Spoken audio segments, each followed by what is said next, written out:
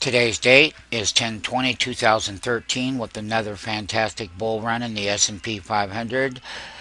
Uh, 75% of this last daily movement would be contributed to uh, Google's earnings that blew the top line and bottom line quarter.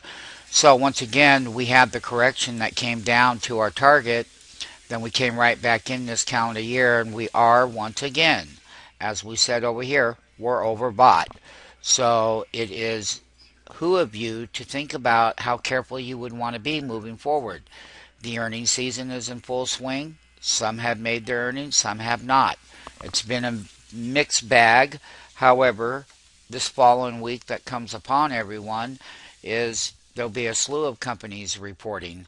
Once again, when we get these overbought runs, these overbought bull runs, you're going to get pullbacks, and, and everyone that we've called have made a new higher high again the seasonality in October is that low was put in with the government shutdown, all of the various factors that played a big role. A lot of the bulls were not in the move because one thing, they were very uncertain as to what was going to happen. That's the bottom line at the end of the day. The end of the day, at the end of the day, is that a lot of people remained on the sideline. They did not want the risk because of the government volatility. The debt ceiling, which was never going to be a non event, as we had totally told people that that would not be. The shutdown was one thing. Yes, it did shave off some of the GDP growth. One of the things that we will say is, is that we're given a full warning right now is, is that the exuberant level, the complacency level, an exuberant level that we talk at various different times within these bull runs is, is that you have to be careful and know when to take some of the chips off the table. The volatility is going to decrease substantially from here at year end. The monitoring process, as far as the exuberance goes, is how people chase stocks up at the high. Most of the bull camp did not get in. We had a huge gap up last week from this lower doji reversal on the daily. When we take a look at the weekly, we can clearly see how it came down from these initial highs right here to the initial lows.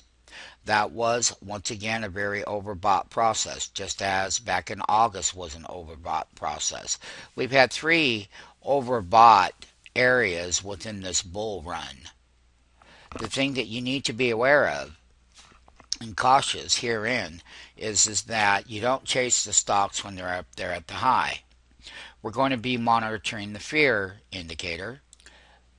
Fear indicator VIX daily volatility S&P 500 index.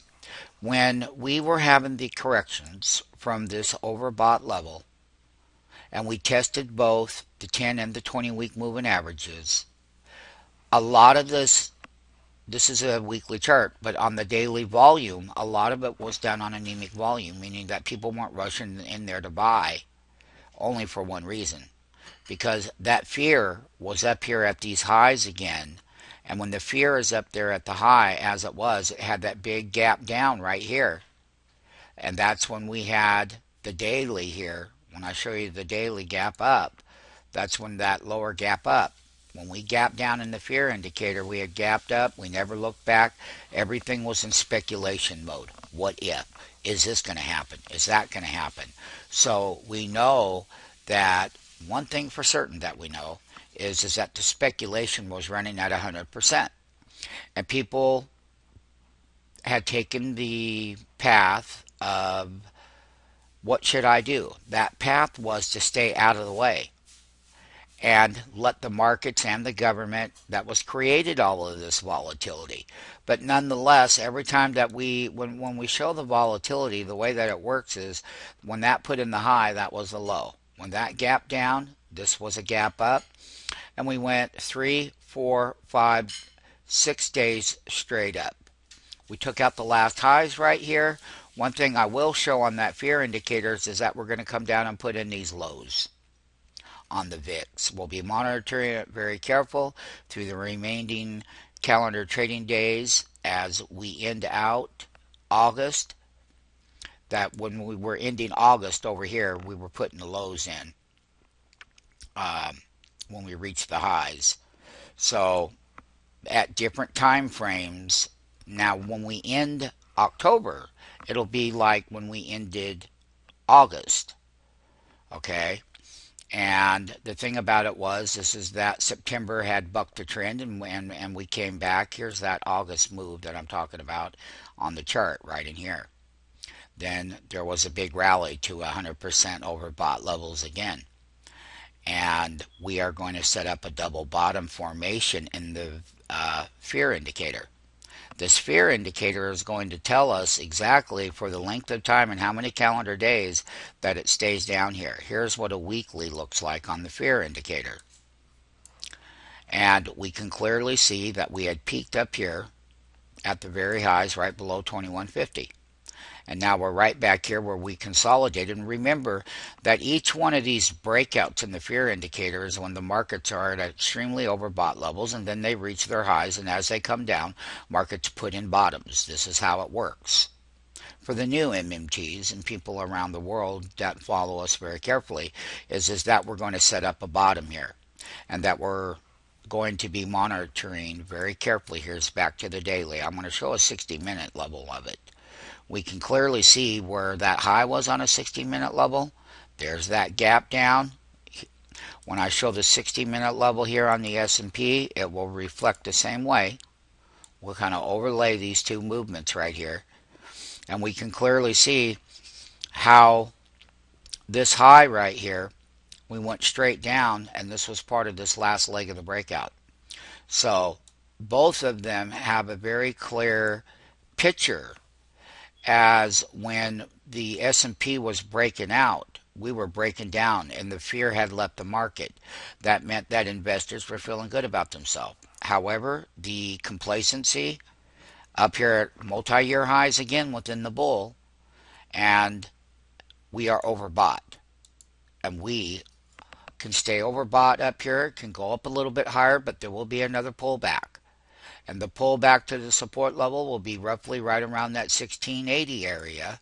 We did hit our target when we called for this last pullback once again. And that means carefully monitoring the fear indicator and how people try to chase performance at year end and where that risk on trade comes in. The vol- volatility is going to be within the remaining part of the next three weeks of the earnings season.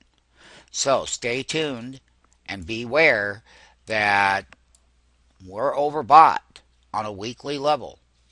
And remember, overbought levels on technicals lag the overall market before they make their actual reversal, meaning that we can go up a little bit higher, but as we stay in this overbought territory, particularly on the monthly level, this is that monthly lower bar right here that you can see. And that's the big rally. But unfortunately, when you look at a monthly stochastic, is, is that that's at the top of the ceiling, which is very rare. That means that there's a lot of exuberance. However, be cautioned that the last six day run was done on very, very low, low, low volume.